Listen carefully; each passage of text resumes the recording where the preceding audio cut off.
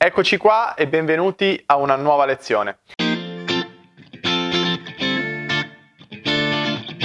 Oggi vedremo la pasta sfoglia. La pasta sfoglia è una preparazione di base in pasticceria insieme alle basi che sono la pasta frolla, la pasta sfoglia, le masse montate, eh, i lievitati dolci, la pasta brioche, insomma ci sono tutte le basi in pasticceria.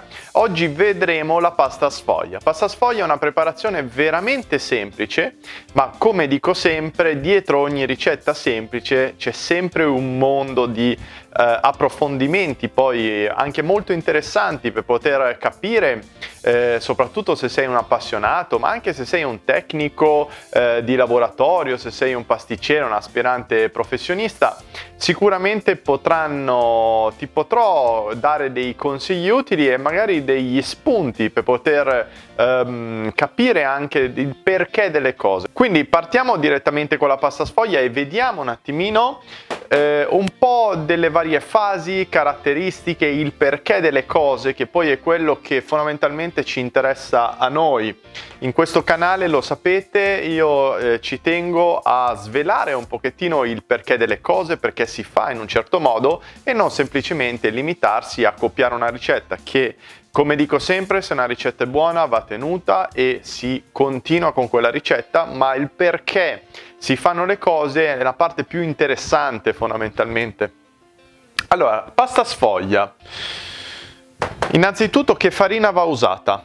Allora, pasta sfoglia generalmente si usa una farina da un 12% di proteine, anche 11,5%, eh? però da un 12% di proteine a un 13% di proteine.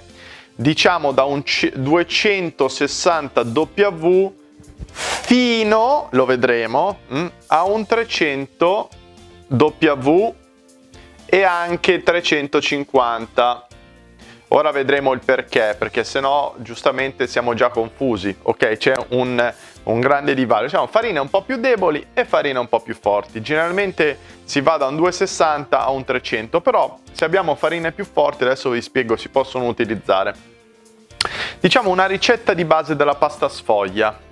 Allora, sono 1000 grammi di farina, generalmente l'acqua che ovviamente per idratare la farina andrà anche eh, messa in base alla, alla, forza che ha la farina, quindi non sempre andrà idratata allo stesso modo, però diciamo di solito si idrata al 50%, quindi eh, mezzo litro, eh, 500 grammi di acqua su un chilo di farina di base, ok? Poi può essere 5,50. Mm? Sale, mettiamo una media di 20 grammi, poi può essere 22, 24, 25, in base anche al gusto che vogliamo dare di sale, e stesso pari peso farina, pari peso burro. Quindi se voi vedete è facilissima perché abbiamo fondamentalmente due ingredienti di base, farina e burro, e poi si idrata con l'acqua, ok? Ho fatto un errore, acqua, ok? E poi si idrata con l'acqua. Quindi fondamentalmente si fa acqua più farina, si fa il pastello e il burro è il panetto.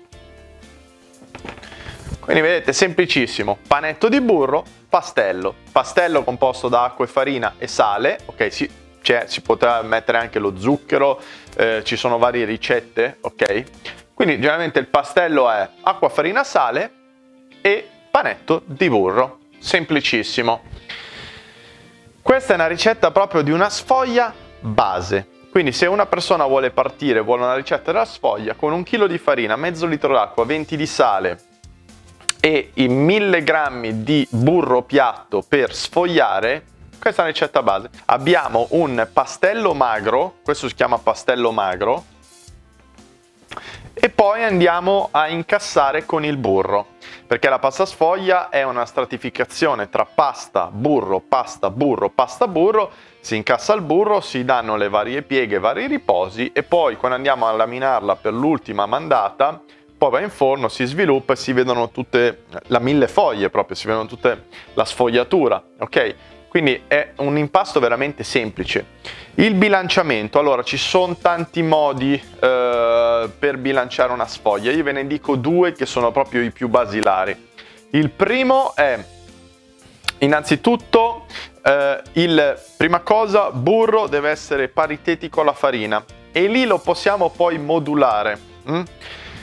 Ad esempio, su ad esempio, prendiamo questo esempio, 1000 di farina, 500 di acqua, 20 di sale per il eh, pane, eh, pastello magro e 1000 di burro. Noi possiamo ridurre il burro, hm? ad esempio lo portiamo, togliamo 200 grammi, hm? quindi diventa 800 di burro, ok? E questi 200 mancanti li portiamo qui. Quindi cosa succede? Che da pastello magro, magro perché non conteneva grassi, diventa un pastello un po' più ricco. Mm? Un po' più ricco, non è proprio ricco, un po' più ricco, ok? Quindi abbiamo già la farina, il burro, l'acqua e il sale e abbiamo ridotto il burro piatto per sfogliare, ok? Quindi già abbiamo una, uh, un pastello magro che è diventato un pastello un po' più ricco. E questa è proprio la base. Poi in verità, volendo, si può anche lasciare invariata ricetta, cioè con 1000 di farina e 1000 di burro e aumentare solo il burro nel pastello, ok? Ma diventa molto ricco, molto friabile, ok? Ovviamente questa qua è la base. Quindi abbiamo già visto una sfoglia magra e una sfoglia più ricca. Ovviamente una sfoglia magra ha delle caratteristiche. Uh, generalmente una sfoglia magra è più croccante, è più tenace, è più... Mm, una pasta sfoglia generalmente si usa per dare eh, comunque struttura anche al prodotto che vogliamo fare, ok? Se noi vogliamo una pasta sfoglia che si scioglie in bocca, più friabile, più godibile, sicuramente quella ricca è meglio, ok? Cioè ad esempio, ecco, poi si può fare la pasta sfoglia alla panna, che è molto buona, però ci sono varie modi, ad esempio nel mio corso io insegno a fare le bresciane con la pasta sfoglia alla panna, perché? Perché si scioglie in bocca, è molto più buona, ok? Che è semplicemente eh, pari peso farina, pari peso panna, generalmente riduco un po' la panna perché altrimenti eh, se non abbiamo farine molto tecniche dopo diventa troppo appiccicosa, però generalmente una pasta sfoglia ricca è, è una pasta sfoglia più buona, più godibile, però non è indicata per tutto, se noi vogliamo dare struttura, ad esempio vogliamo fare una mille foglie, però che abbia una struttura della sfoglia ben rigida, ok? È meglio una, una, pasta, ma, una pasta, sfoglia magra. Mm? Se vogliamo una sfoglia un po' più ricca, magari per fare eh, dei prodotti, mm, quindi una bresciana, quindi magari anche una sfogliatina di mela, mm? uh, un kranz um, e varie preparazioni dove vogliamo una scioglievolezza. Perché ovviamente se noi mettiamo il burro all'interno del pastello cosa succede? Che il burro ostacola la formazione di una buona maglia glutinica e quindi se lo ostacola non si forma una fitta rete coesa di proteine e quindi tende a essere più fondente in bocca semplicemente perché fa fatica e in più c'è il burro che il burro dona friabilità e quindi per questo motivo diventa semplicemente un po' più, più morbida, mm, un po' più friabile, ok? Quindi quando noi spostiamo il burro diamo friabilità, ok? Poi ci sono i vari tipi di impasto. Allora, c'è l'impasto dove andiamo, um, ad esempio il pastello si può lavorare 3-4 minuti, 5 minuti, mm? oppure si può lavorare 12-15 minuti fino a formazione di una buona maglia glutinica. Quindi c'è tipi di impasto, sono due. L'impasto breve, mm? e un impasto fino alla formazione di una maglia. Queste due modalità si utilizzano, ad esempio l'impasto breve 3-4 minuti, 5 minuti e quando utilizziamo una farina non tecnica, una farina più debole, una farina che se la stressiamo troppo eh, poi ci darà dei problemi in fase di lavorazione. ad esempio se abbiamo una farina tecnica o una farina forte, anche 300-350V, la possiamo lavorare tanto e anche poi dando le pieghe non succede niente perché è una farina adatta, soprattutto se è una farina specifica per sfoglia, non ci sono grandi problemi perché la possiamo impastare, lavorare e non dà problemi, ma se usate una farina debole e la lavorate tanto poi avete dei problemi. Mm. Quindi ecco perché si utilizzano due metodi, non è che uno è giusto e uno è sbagliato, sono tutte e due giusti, dipende che farina hai, ok? Poi all'interno della sfoglia si utilizza ad esempio il malto. Mm? Il malto, eh, ci sono molte ricette se vedete anche con malto, il malto serve per dare un po' più estensibilità alla pasta, perché ovviamente il malto, soprattutto il diastasico che contiene enzimi, va a lavorare proprio, va a aggredire la maglia, quindi va a allentare la tensione che ha la maglia, ok? E poi dà anche un miglior sviluppo. Oppure ci sono ricette con il vermouth o il eh, vino, ok, che danno mm, più friabilità, eh, fragranza e, mm, alla, alla, sfoglia, ma irrigidiscono anche la maglia. Quindi, ad esempio, se voi avete una farina che diciamo eh, tende a essere molto estensibile, se volete che sia un po' più rigida, usate vermouth o vino ok? E quindi andiamo a irrigidire un po' la maglia.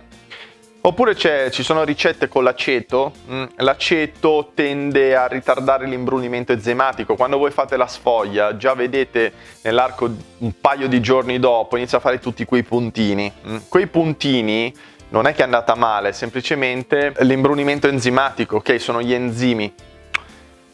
E l'aceto va a lavorare anche sullo sviluppo, quindi se c'è anche l'aceto sviluppa meglio. Diciamo che in linea di massima il malto nelle farine, mh, mm, eh, diciamo, che tendono ad essere un po' più rigide, mh, mm, un po' dare un po' estensibilità e eh, vermouth, vino, se vogliamo un attimino andare a eh, ridurre quello che poi le, le, le, l'estensibilità, rigidisce un po' la maglia. I vari tipi di incasso, eh, c'è l'incasso a libro, eh, l'incasso a fazzoletto, ci sono vari tipi di incasso, ok?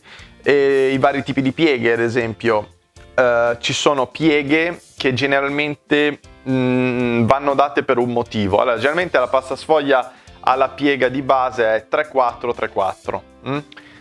Poi c'è chi fa anche 2 volte 3, 2 volte 3, c'è chi fa due giri doppi, cioè 2 ehm, da 4, 2 da 4 e sono tutti giusti in base al tipo di ehm, ingredienti di partenza che partiamo. Però in linea generale più grasso c'è nella sfoglia, più pieghe diamo, meno fuoriesce burro. Ehm, meno andiamo a dare delle pieghe, più la pasta frolla deve essere magra, perché più andiamo a, a stratificare, più viene contenuta, ok? Quindi eh, la fuoriuscita di grasso deve essere ridotta dando più pieghe, ok? Mentre invece se è magra si possono dare meno pieghe senza problemi. Quindi generalmente questa è la, proprio l'informazione di base. Lavorazione, sì, ecco, anche lì c'è chi impasta eh, si fa riposare in frigorifero. Ecco, io consiglio di metterla in frigorifero la sfoglia che arrivi a temperatura fredda in modo tale che si lavora meglio in macchina con il burro dopo incassato. Però generalmente sono due metodi. Lavorazione il primo giorno eh, che si, si, fa tutta in giornata, hm? quindi si fa la sfoglia in giornata, metodo rapido, e poi c'è la lavorazione in due giorni, che è un metodo anche classico, cioè si fa la sfoglia. E c'è anche in tre giorni, ok? C'è chi la fa anche in tre giorni. In linea di massima diciamo che una volta fatto il pastello si fa riposare dai 30, 60 minuti, 120 minuti, ok? Si fa riposare comunque, si incassa il burro, si danno le pieghe. C'è chi fa riposare il pastello una notte in frigo direttamente, sfoglia il giorno dopo. C'è chi uh, fa riposare il pastello 30 minuti, sfoglia, dalle pieghe, ogni piega dai riposi e poi dall'ultimo riposo finale una notte in frigo. Ecco, il riposo finale una notte in frigo andrebbe sempre dato, ok? Qualunque sia la modalità di, di, di, di tipo di sfoglia, di, di lavorazione, cioè se la volete in un giorno o due, ad ogni modo l'ultima eh, riposo della sfoglia ci vorrebbe una notte in frigorifero, il giorno dopo almeno si tira ed è più elastica ed è, si, è, diciamo, si è strutturata bene, è più estensibile. Mm? Però generalmente si può fare in un giorno, la sfoglia in un giorno, ok, metodo un po' più rapido, oppure in due anche in tre giorni. Dipende anche il tipo di farina che avete. Ovviamente se è una farina forte, più gli date riposo, più tende poi a essere ehm, di facile lavorazione. Se avete una farina debole, forse è indicato la, la pasta sfoglia in giornata poi anche qui ci sono vari metodi, c'è chi anche non mette il burro all'interno dalle pieghe ma lo mette a pezzettoni nell'impasto, poi dalle pieghe una pasta sfoglia metodo rapido eh, o metodo olandese, mm, ci sono vari modi. Metodo classico, ah poi ci sono i metodi classici e i metodi inversi, c'è chi eh, usa il metodo classico, il metodo classico prevede di formare il pastello, si mette il burro generalmente, io utilizzo il metodo a libro, quindi metto il burro, chiudo a libro, poi vado in sfogliatrice con il metodo classico e, ehm, e lavoro la pasta. Poi c'è il metodo inverso invece che è quello alla francese dove praticamente il burro sta all'estremità e in mezzo c'è il, il pastello magro. Quindi si fa burro, pastello, burro, si incassa e si danno le pieghe. Questo è un po' più complicato se, perché ci vuole un po' più attenzione, devi essere un po' più preciso, un po' più eh, bravo, in quanto il burro innanzitutto devi dargli delle belle spolverate di farina e poi eh, devi essere inquadrato perché comunque non è facile lavorare il burro e sfogliatrice, soprattutto se non è un burro tecnico plastico. Mm?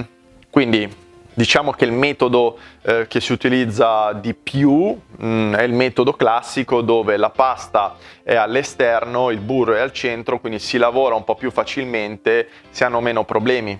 Ok? Già comunque sfogliare per una persona che non ha esperienza non è facile, ok? Laminare non è proprio facile, all'inizio bisogna prendere confidenza con la macchina, insomma non è facile. Il metodo inverso è un po' più eh, difficile anche eh, se non si ha esperienza. Dicono che ci sono delle differenze, eh, diciamo anche di eh, scioglievolezza, eccetera, ma lasciamo stare che entriamo in un mondo ancora più complicato. E poi c'è la conservazione, ecco, generalmente quando fatti tutti questi passaggi si arriva alla conservazione, generalmente si conserva in eh, frigorifero eh, per tutta la notte e si usa il giorno dopo, però generalmente la pasta sfoglia si fa, si fa in abbondanza, si abbatte, ok? Si mette la pellicola o meglio anche un uh, sacchetto di nylon, quelli resistenti, si mette in freezer, si può utilizzare uh, dopo quando si vuole la pasta sfoglia, ecco, quando poi uh, si prende la pasta sfoglia dal freezer, va messa in frigorifero tutta la notte a scongelare piano piano, il giorno dopo si può utilizzare. Non si può prendere, aspettare due ore utilizzare, ma bisogna metterla in frigorifero, il giorno dopo si può utilizzare, in modo tale che ha scongelato bene bene, non ha perso troppa acqua, eccetera. Quindi abbiamo visto che per una semplice eh, fondamentalmente mh, ricetta come la pasta sfoglia capiamo già che ci sono tante cose da sapere, quindi la farina, le ricette di base, il bilanciamento, i tipi di impasto, perché usare il malto oppure non il malto, le pieghe, le lavorazioni, il metodo classico, il metodo inverso, la conservazione. Queste sono tutte cose che vengono poi con l'esperienza e ad ogni modo io consiglio sempre di sperimentare, ecco, eh, sperimentare, variare, provare ricette, tentare di capire anche cosa, ehm, cosa è più utile in quel momento per quel tipo di prodotto. Mm? E poi c'è anche la fase di cottura, ecco, la cottura è una parte, altra, è una parte importantissima, la cottura è importante, dipende cosa vogliamo fare. Ovviamente la pasta sfoglia tende a crescere molto, quindi generalmente se vogliamo fare mille foglie o vogliamo fare prodotti molto regolari, generalmente si mette un peso sopra per farla crescere molto, eh, molto regolare. Anche qui poi si può caramellare, c'è chi la caramella, quindi la porta a caramellizzazione con lo zucchero, c'è chi non la caramella. Ehm, diciamo che l'importante è che la frolla sia cotta al cuore, perché molto spesso ho visto che non viene cotta bene, poi risulta cruda e se la frolla dentro è cruda è gommosa. quindi la cottura deve essere eh, prolungata, ok, fino al cuore. E poi si può decidere anche se caramellarla non caramellarla.